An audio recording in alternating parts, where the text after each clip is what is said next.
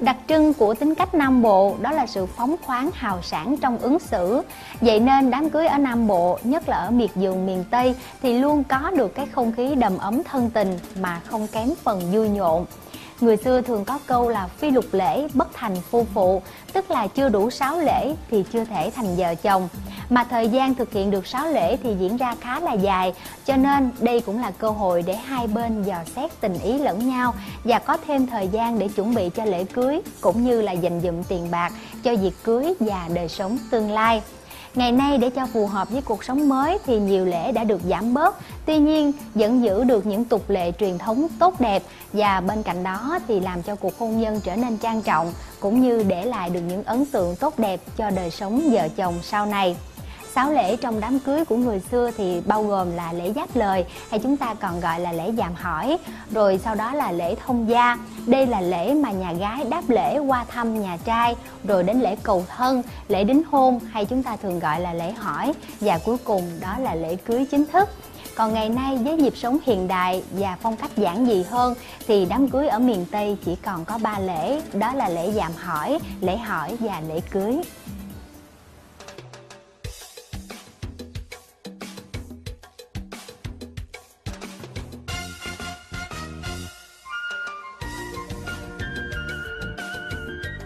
Lễ cưới hay còn gọi là đám cưới được chuẩn bị rất công phu. Lễ cưới được diễn ra ở cả hai nhà dâu rể. Trước lễ cưới, người ta bắt đầu cho dựng rạp cưới. Rạp cưới thường được làm bằng tre, chuối và trang trí lá đủng đỉnh, tàu lá dừa, tàu lá dừa nước, hoa cao rất bắt mắt. Trước rạp là cổng hoa. Nhà gái treo trên cổng hoa tấm bảng du quy, còn nhà trai là tân hôn. Đêm trước khi đưa dâu, gia đình cô dâu thường tề tựu đông đủ, gọi là họp gia đình, thống nhất của hồi môn cho cô dâu, dặn dò cô dâu trước khi xuất giá và chọn ra thành phần đàn gái đi đưa dâu. Thông thường buổi họp gia đình cô dâu rất nhộn nhịp nhưng cũng đầy tình cảm, xem như buổi cô dâu chia tay gia đình về nhà chồng. Trong buổi họp còn có món cháo vịt hay cháo gà để bà con ăn lấy sức ngày mai đưa dâu. Về phần bên nhà chú rể, cũng có buổi họp gia đình như vậy để thống nhất thành phần đoàn rước dâu và món cháo khuya cũng được ưa dùng. Vừa để lót dạ lấy sức, vừa để mọi người có dịp họp mặt chuyện trò, uống với nhau vài ly đưa cay. Từ rất sớm, họ nhà trai sẽ cử một đoàn sang nhà gái để làm lễ rước dâu. Lễ rước dâu quan trọng nhất ở họ nhà gái phải có nghi thức lên đèn. Cặp đèn cây lớn được chọn lựa trang trí cẩn thận do đàn trai đem đến, được đặt trên bàn thờ ông bà. Người trưởng tộc bèn khui một chai rượu, trong số hai chai do đàn trai đem đến.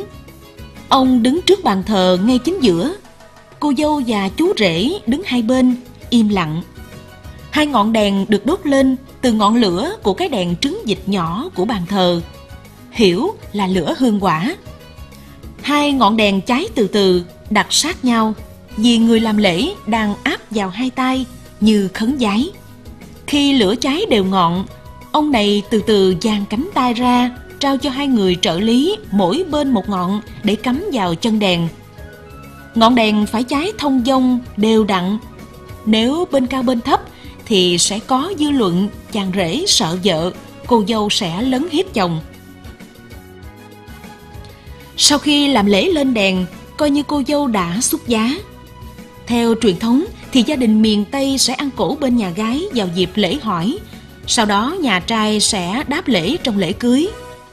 Tuy nhiên ngày nay để cho giản tiện thì làm lễ lên đèn xong, nhà gái sẽ mời tiệc luôn. Nhà trai có thể lưu lại chờ hôm sau mới rước dâu về vì đường xa. Một nét đặc trưng cho đám cưới miệt vườn là nhà trai có thể rước dâu bằng đường thủy. Trên ghe kết qua làm náo nhiệt cả một vùng sông nước.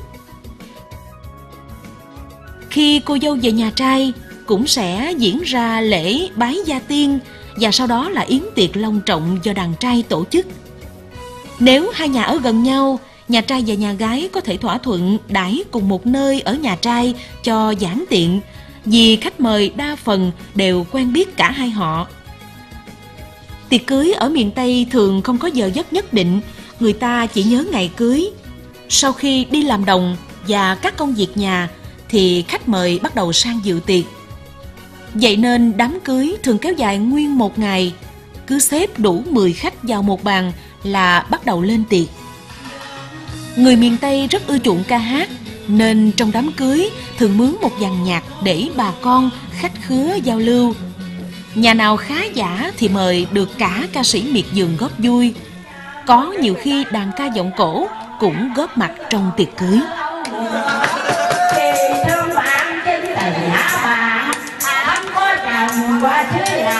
Đám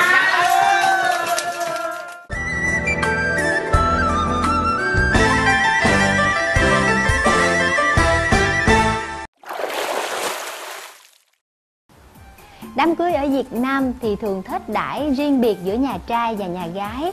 Riêng ở miệt vườn miền Tây á, thì ngay từ sáng sớm các chàng trai cô gái cùng với bà con lối xóm đã tập trung rất đông ở nhà gái để cho người thì giết heo, người thì mổ gà vịt, người thì lo chuyện nấu nướng, không khí thật là vui vẻ. Đây cũng là dịp để cho các nam thanh nữ tú gặp nhau và nảy sinh những mối tình thật đẹp. Sau buổi trưa, cổ bàn xong xuôi thì việc đãi tiệc sẽ bắt đầu từ trưa cho đến chiều. Đám cưới ở miệt vườn miền Tây thực sự là một ngày hội của bà con trong xóm. Nhà nào có cổ cưới càng lớn và người tham dự càng đông thì không chỉ chứng tỏ được giai dế của họ trong địa phương, mà còn cho thấy hàng ngày họ ứng xử chân tình và đẹp đẽ với bà con lối xóm như thế nào. Nếu như chỉ một lần tham dự đám cưới ở miệt vườn miền Tây thì chắc chắn bạn sẽ nhớ mãi. Chuẩn bị tiệc tùng ở miền Tây mọi thứ đã được người lớn chuẩn bị từ lâu. Bao nhiêu heo, bò, gà, vịt đều được nuôi trước để đúng ngày mở tiệc đem ra làm lấy thịt để chế biến món ngon khác nhau để đãi khách. Cổ cưới Nam Bộ thường có 5 món, đều làm từ những sản vật của địa phương. Những món thường được chọn nhất là món gỏi, thịt nguội bát bửu là món khai vị. Tiếp đến là món hầm như gà tiềm, bò hầm, giò heo hầm. Rồi đến món chiên như cơm chiên, cá chiên. Món xào cũng có từ 5 đến 7 cách xào kiểu xào. Và đặc biệt phải có món cù lao, một kiểu bài trí của món lẩu hiện nay đãi cuối cùng mới gọi là đủ đầy tươm tất. Đặc biệt, có những điều kiên kỵ trong thực đơn tiệc cưới của người Nam Bộ ngày xưa mà bất cứ ai, dù giàu sang, dù bần hàng đều phải nhớ tránh các món canh chua, canh đắng và món mắm. Dù miền Nam là nơi sản sinh ra các loại mắm cá đồng với những thứ chế biến từ mắm tuyệt ngon như mắm ruột, mắm kho và rau. Ngày nay là lẩu mắm, nhưng không bao giờ mắm có trong thực đơn. Lý do đơn giản, ngày cưới người ta kỵ những thứ gì gợi lên đắng cay, chua chát và hôi hám. Mắm dù ngon nhưng vẫn là món nặng mùi Tương tự, cá lóc nướng trui dù là một trong những đặc sản chỉ miền Nam mới có, nhưng cũng không bao giờ có mặt trong bữa tiệc, cưới hỏi, trong khi cá hấp thì có.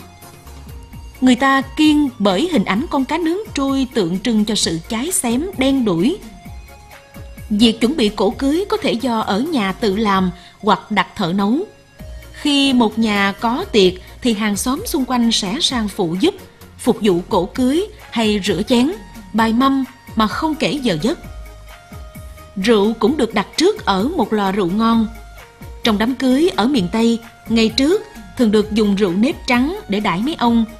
Còn rượu nếp than có đường hay còn gọi là rượu gài để đãi các bà các chị cho hồng hào màu da.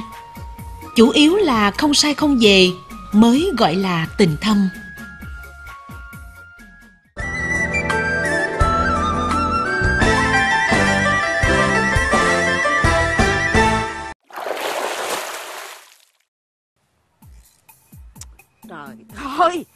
Ông đi đàng hoàng để con làm gì ông gồng cứng nhắc vậy? Đi về bộ đồ nhà phải đi về mới đẹp phải không? Thôi mệt ông quá đi đàng hoàng đi. Đi ở đàng hoàng quê sao đẹp ở, đi mình ở quê mình nó đi về bà con cô bác ta thấy ta Đi cười chết tưởng là ra ông bị gì đó. Không hiểu gì Ủa?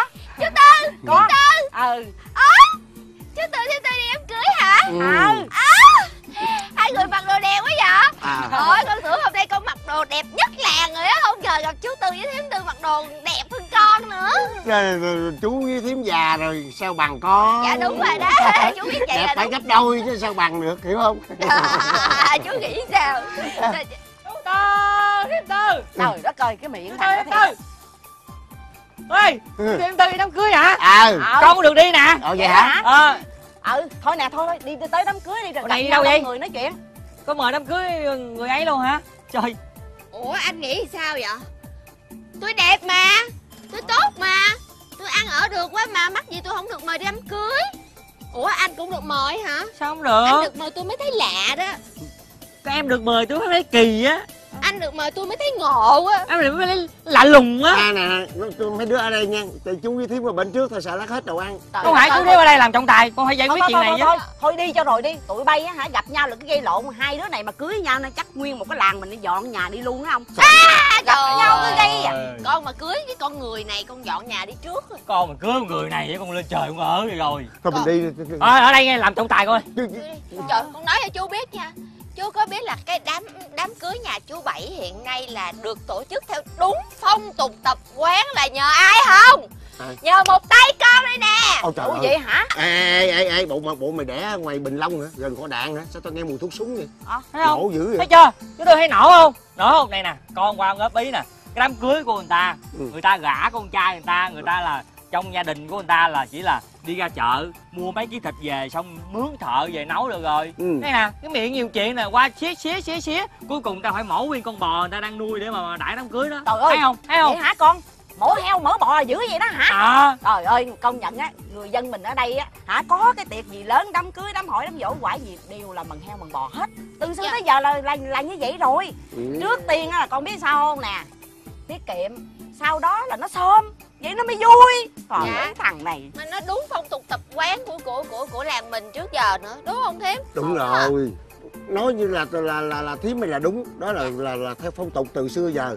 Hễ mà khi có đám cưới đám tiệc trong nhà hoặc là đám cúng đình cúng miễu gì đó Ờ. là người ta là mừng á, là heo mừng gà mừng vịt à, mừng bò để mà đãi bà con trong làng trong xã. Đó là theo phong tục từ hồi xưa tới giờ. Hỏi cái nhà rộng rãi như vậy nuôi gà nuôi vịt không bằng nữa là đi ra chợ mua chi cho nó tốn tiền. Ờ mừng vừa tiết kiệm vừa là vui nữa bâu lại bà con lại mừng gà mừng vịt vui lắm Đúng không? rồi. đó là phong tục từ xưa giờ mà. Dạ miễn Ờ. sao á mình làm sao miễn sạch sẽ hợp vệ sinh là được rồi. Ừ. đó vấn đề là không có quan trọng. Trời đất ơi cái người ở đâu á trai làng mà không có biết gì phong tục tập quán của làng hết rồi mai mốt sao cưới vợ trời. Ủa? Ế chắc luôn á. Nè ê bà đừng có nói xuyên nữa. Vậy sao? Cái cặp này nè. Nó sao đâu ông ơi. Tôi cá với bà luôn á. Ờ. Không là vợ chồng nha. Ừ. Tôi với bà ly dị. Không bà ông bà ý tôi nói là tụi nó chọc chọc kiểu này là nó thương nhau thiệt đó. Thế nào cũng lấy à, nhau thế nào cũng tao cá luôn đó tao thấy rồi đó cái bay á nói vậy chứ không phải vậy đâu mà nghe Ờ. con. Ờ. lần nãy con sai thôi thì để phong tục thôi giờ đi đi chứ chẳng lẽ đứng đây nói hoài. Đi ông ơi. cái này người ta nói vậy nè thơ người ta nói vậy nè sao? tình trong như đã ừ bên ngoài còn gây Gây. thôi tụi mày ở đây gây đi. Thôi, con ở như vậy lắm rồi, thôi giờ đi ăn đám cưới với tôi luôn đi. Trời ơi. trời tự nhiên nắm tay tay vậy đi trời. với tôi sợ đi lạc mà. Tay của người ta mà.